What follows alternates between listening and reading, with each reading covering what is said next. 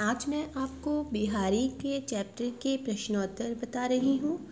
प्रश्नोत्तर इस प्रकार से हैं। पहला प्रश्न है, छाया भी कब छाया ढूँढने लगती है?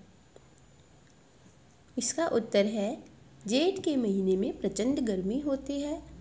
सूर्य की तेज किरणों से धरती जलने लगती है। कहीं भी छाया दिखाई नहीं देती है। ऐसा लगता है, मानो छाया भी छाया ढूंढ रही है। सेकंड क्वेश्चन है, बिहारी की नायिका यह क्यों कहती है? कही है सबो तेरो है मेरे है की बात। स्पष्ट कीजिए। इसका उत्तर ऐसे लिखना होगा, बिहारी की नायिका कपकपी और स्वेद के कारण कागज़ पर संदेश नहीं लिख पाती है। किसी और के द्वारा संदेश भिजवाने में उसे लज्जा आती है। इसलिए वह कहती है कि विरह की इस अवस्था में उसके और उसके प्रिय के हालात समान से हैं, यानी एक जैसे हैं। इसलिए अपने हृदय से उसका हाल समझ जाएँगे। थर्ड क्वेश्चन है सच्चे मन में राम बसते हैं। दोहे के संदर्भानुसार स्पष्ट कीजिए। इसका उत्तर, बिहारी का कहना है कि माला जपने और तिलक लगाने जैसे बाह्य आडंबरों से किसी को भी ईश्वर की प्राप्ति नहीं होती है। जिस व्यक्ति का हृदय ईर्षा द्वेष, छल, कपट, वासना आदि से मुक्त और स्वच्छ होता है, उसी के मन में राम यानी ईश्वर का वास होता है। नेक्स्ट प्रश्न है, गोपियाँ श्री कृष्ण की बांसुरी क्यों छुपा लेती हैं? गोपियाँ श्री कृष्ण से बातें करना चाहती हैं, वे श्री कृष्ण को रिझाना चाहती हैं, परंतु श्री कृष्ण जी को अपनी बांसुरी बेहद प्रिय है और वे उसी में व्यस्त रहते हैं। इसलिए उनका ध्यान अपनी ओर आकर्षित करने के लिए गोपियाँ श्री कृष्ण की बांसुरी को छिपा देती हैं।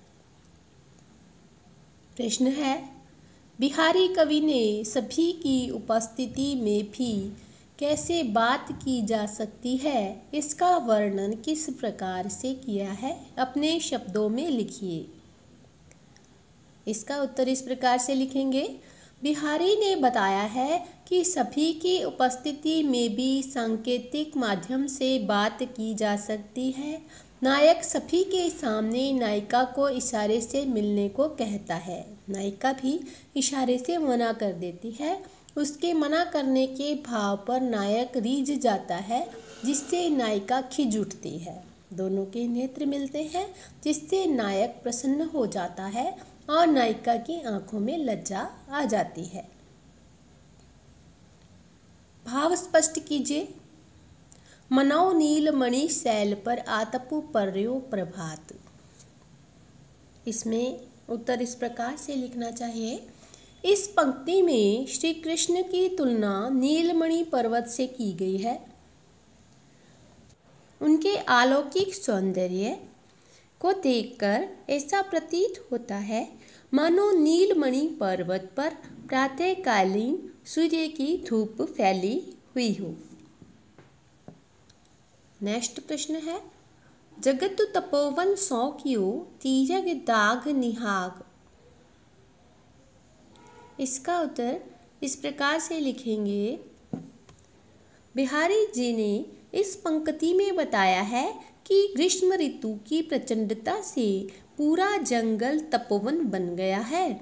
इस मुसीबत की घड़ी में सब जानवरों की दुश्मनी खत्म हो गई है। सांप, हिरण और सिंह सभी गर्मी से बचाव के लिए मिलजुल कर रहने लगे हैं। कवि ने शिक्षा दी है कि हमें विपत्ति की घड़ी में मिलजुल कर रहना चाहिए। तीसरा प्रश्न है, जब माला छापे तिलक सराई, न एकौ कामू, मन कांचई नाचई वृथा सांचई राचई रामू। बिहारी का मानना है कि माला जपने और छापा तिलक लगाने जैसे बाह्य आडंबरों से ईश्वर की प्राप्ति नहीं होती है, ये सारे काम व्यर्थ हैं। राम यानी ईश्वर का वास उस व्यक्ति के मन में होता है, जिसका हृदय ईर्ष्या, द्वेष, छल, कपट, वासना आदि से मुक्त होता है।